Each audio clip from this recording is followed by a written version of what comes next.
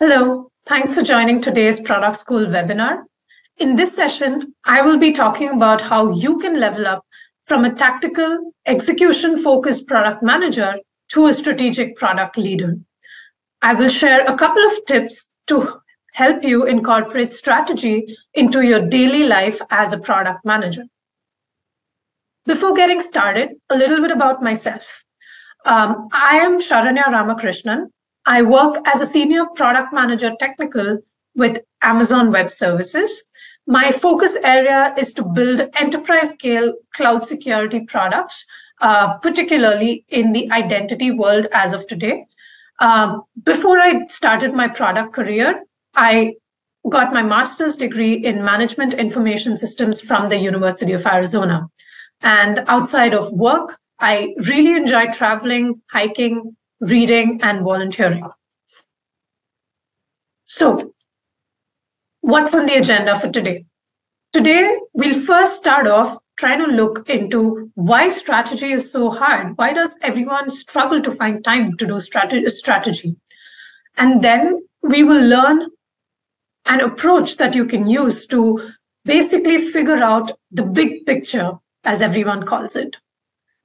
Finally, we will share a couple of practical tips that you can use to incorporate strategy and level up every day in your life as a PM. Finally, I'll go ahead and summarize the key takeaways from this presentation. So, why is strategy so hard? Why does everyone struggle to find time to do any strategic work? So, according to research that was done by the CEO of the Strategic Thinking Institute, Rich Horwath, only 14% of employees actually understood what their company strategy was. You would think that maybe individual contributors don't dive into the strategic aspects and are more heads down on tactical work, but managers definitely do more strategic work, right? You're wrong. Unfortunately, 44% of managers actually spend most of their time in escalations or in a firefighting mode rather than doing deep strategic work. The fact that surprised me the most from this research was this. Leaders and executives have the core responsibility of driving thought leadership, right? Of driving strategic thinking for the organization. However, 96% of these leaders actually claimed that they don't have any time for strategy. Now, zooming all of this a little bit into the product world. So, why is product strategy so hard? As a product manager, you juggle a lot of things. Whether you are a new PM who is just trying to onboard and learn about the company culture, make a mark, create an impact, and at the same time, ramp up on all of the domain and product skills. Or you're an experienced PM who has delivered multiple products or features, and you're basically living your day to day life as an experienced senior PM. Your typical day looks like this you're flitting between meetings this could be leadership meetings, deep dives with customers, or you could be having an architecture discussion with your engineering team or your uh, design team. And then you end up in parallel answering your Slack messages because there's an escalation going on and you need to put out a fire. And before you know it, it's 6 p.m., it's the end of the day, you've had absolutely no time to actually synthesize all of the information that you've gotten from the meetings. You've had no time for any heads down strategic work. And all you come out of the day with is a bunch of action items, only to move into the next day where you go about finding the time to squeeze in executing on these action items. And you're tied down to work on strate- on to tactical things rather than being more strategic about your day to day. Another interesting aspect is this goes on. It's a loop, right? So, how can you change this? What can you actually do uh, to actually make the time to get strategic work done.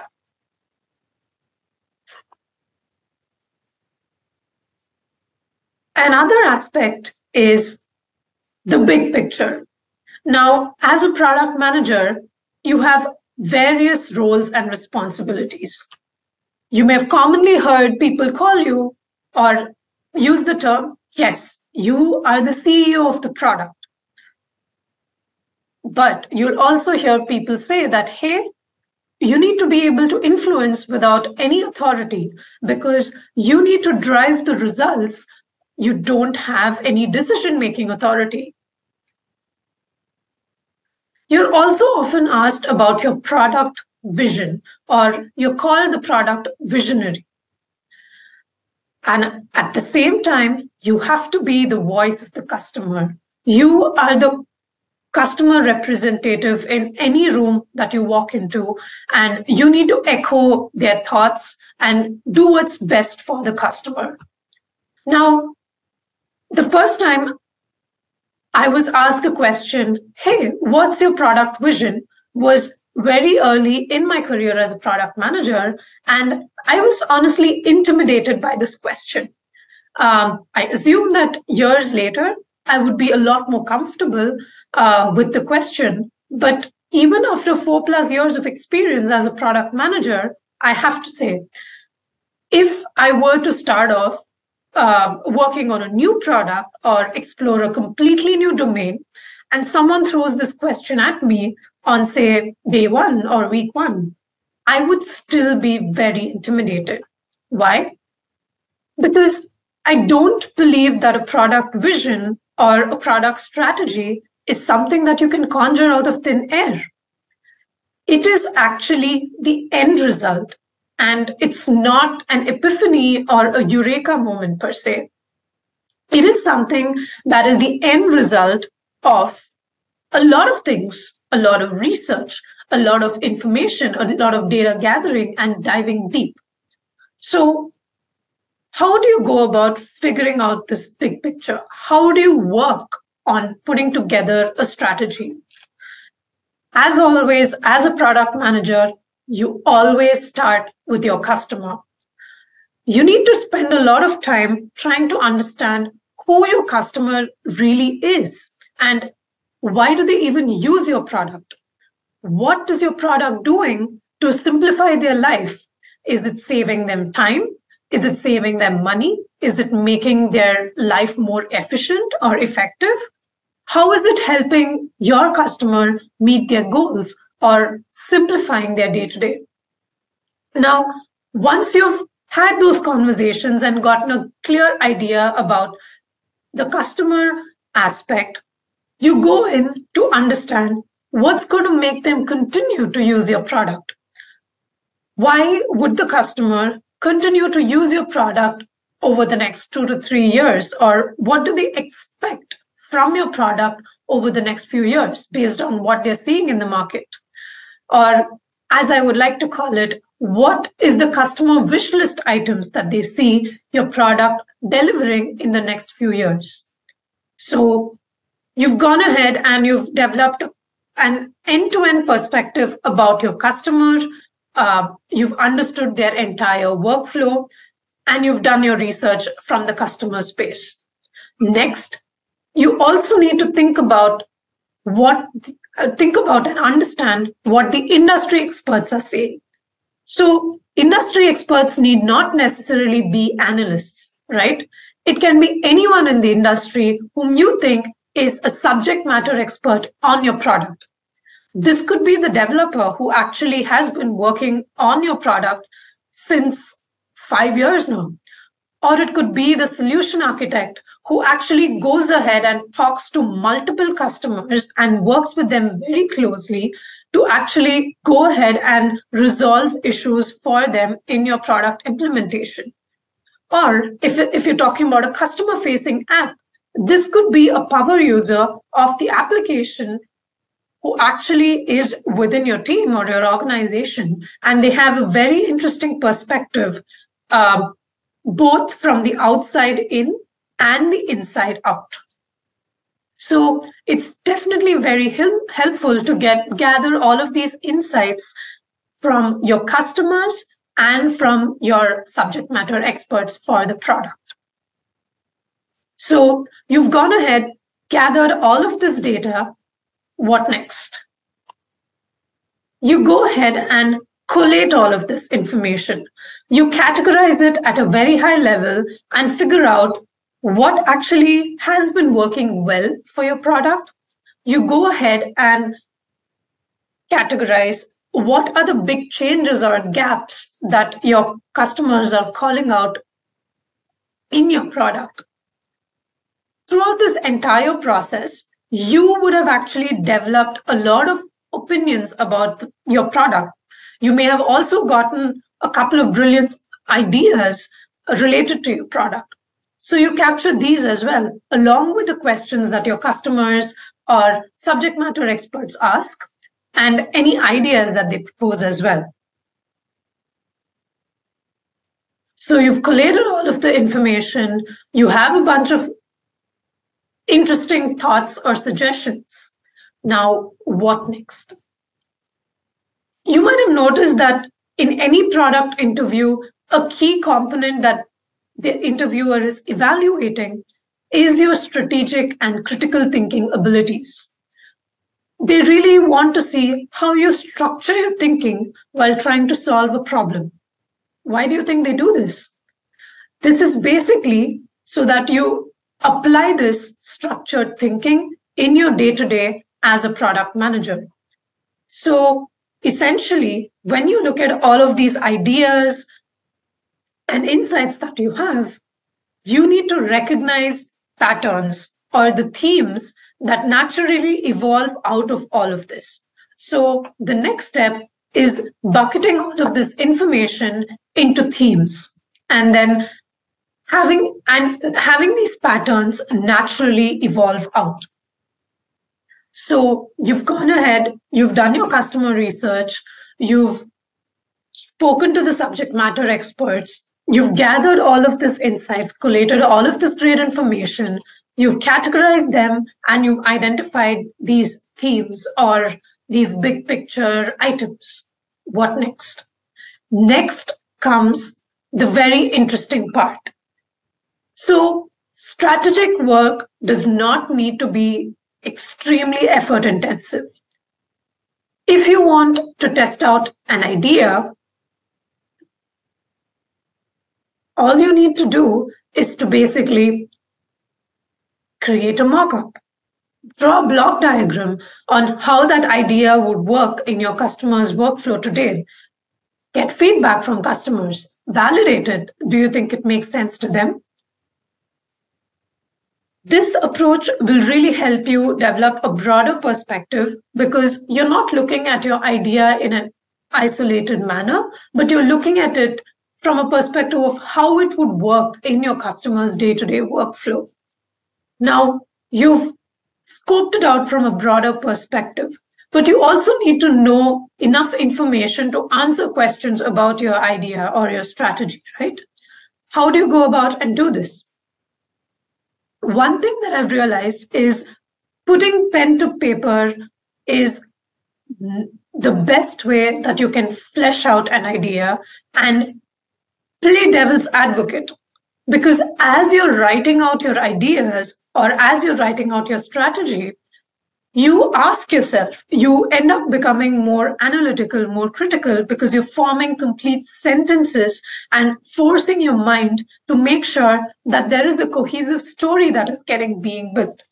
You're not basically just throwing out pointers uh, on a piece of paper, but you're actually writing a narrative or a summary. It could be something that's just a page or two pages, but fleshing it out or fleshing out your idea from start to finish really pushes you to think through your strategy enough that all of the basic questions are something that you've already asked yourself and you can always follow up and dive into the answers and make sure that they're captured as well so You've synthesized all of this information.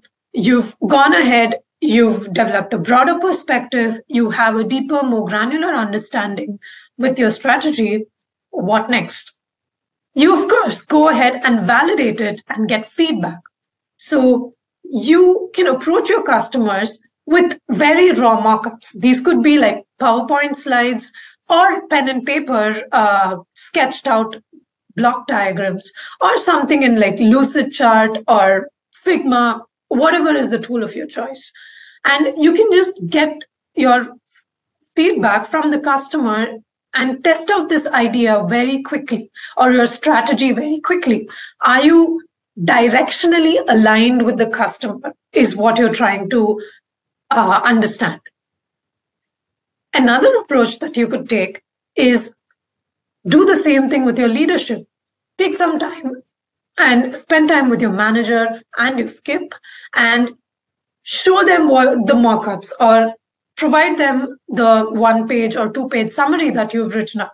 Or maybe like throw in a three slide to five slide powerpoint and explain your thought process or your strategy. Get their feedback. So what you're basically doing is making sure that your customer and your leadership is directionally aligned with your strategy without investing months and months of work or before even building anything out.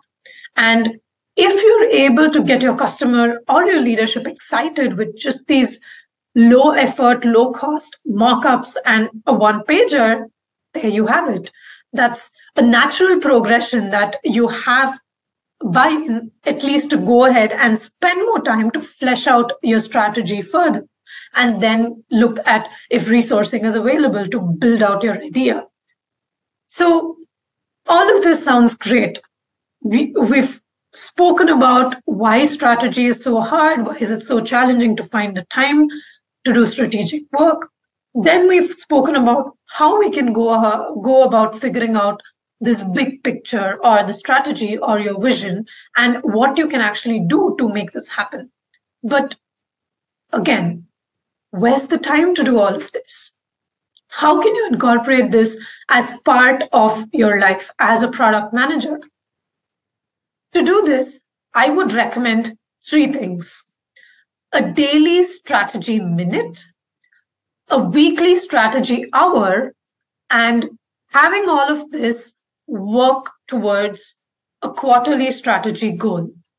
So, why do I say this? I know in many discussions, in many, uh, people suggest that you block time on your calendar, block an hour or two, that you invest only in strategy, learning, reading, uh, or industry research. I actually tried this out, and while it was definitely helpful, I found it very hard to actually turn this into something more actionable that can help me actually factor this in to my own product and help develop the strategy for my specific product or service.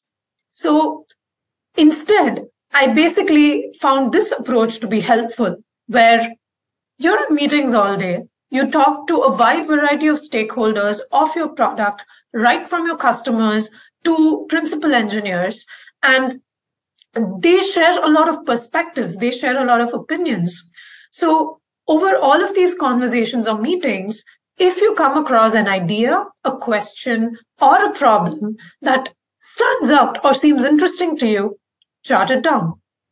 If nothing comes up, at the end of the day, take a single minute to reflect on all of the meetings that you've been in, what those meetings were about at a very high level, and see if anything stands out in terms of an idea or a statement that was made or a discussion uh, topic that was proposed. Now, say you've been doing this for the week. So you've done this for five days, you have five pointers jotted down, and it's time for your weekly strategy hour you can structure your strategy hour now to be focused around these five pointers. Do you want to dive a little bit deeper into a specific idea? Go have that customer conversation and uh, have a free flowing discussion and really pick their brains about it. Do you want to spend time on UX research that's centered around another idea? Watch a bunch of recordings, connect with your UX research team who've been conducting user interviews over the past week, have an interesting conversation, and explore the idea with them. Or you can also choose to spend this time heads down reading up uh, relevant reports or articles, but all of this is again tied back to your product. Another interesting thing that is very helpful is connect with people across your company. It is so helpful to actually have these free flowing conversations with other people or other employees in the company and understand what they're doing, what they're working on, and basically what they're up to because you never know. They may have some very interesting perspectives to share or ways in which you can actually collaborate as well. So always be open to that and stay curious. Now, you've been doing this on a daily, weekly basis, and all of this is basically adding up towards your quarterly strategic goal. Now, your quarterly strategic goal need not be something very effort intensive. It can be something as simple as creating a mock up and having that validated with your customer or getting customer feedback on that mock up. Or it could be maybe you review an idea or a hypothesis with your customer or leadership team and get their feedback on it. Or it can be something a little bit more concrete where you aim to produce a one page or a two page strategy document and have that reviewed with your leadership, or you pitch your idea or a new product idea to your leadership as part of your quarterly goal. So, wrapping up, here are a few key takeaways. Strategy is the end result of consistent curiosity. It's definitely not something you can conjure up on spot. Collating and categorizing ideas really push you to think and reflect on these ideas, and this is how patterns and themes naturally emerge. Strategy can be intimidating, but start small, validate your ideas or your hypothesis, and then iterate. This will help you come up with a fully fleshed out strategy for your product. Last but not the least, strategy should not be an option. It should be a conscious choice that you make in your daily life as a product manager.